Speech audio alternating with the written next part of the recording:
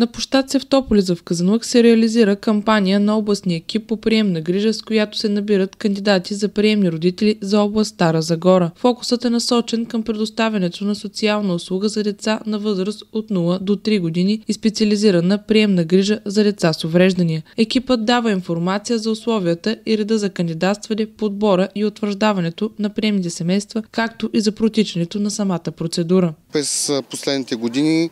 Приемна грижа също претърпя доста така, промяна, развитие и динамика. И вече голяма част от домовете, примерно, вече са затворени на този етап. И децата, които идват, са на първо място на ниво отделен дом.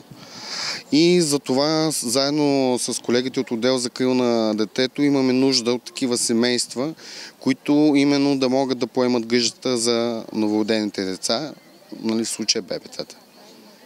А на какви критерии трябва да отговарят приемните родители?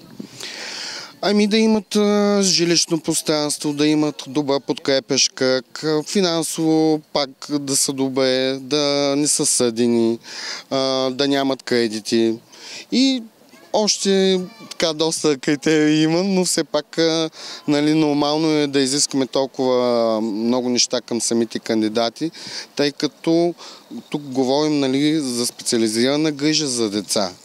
И нали, ние много държим да има качество на приемната грижа и съответно самите приемни родители също нали, да са на ниво да полагат добри грижи и към самите деца защото, нали, пак повтарям, все пак те са лицето на приемната грижа. Предстои кампанията да се проведе и в градовете Черпан, Мъглиш, Павел Баня и Раднево. Област Стара Загора е една от 28-те области в страната, включени в проект Премиме 2015 година, развиващ социалната услуга Приемна грижа в страната. Проектът е финансиран по програма Развитие на човешките ресурси, съфинансиран от Европейския съюз, чрез Европейския социален фонд.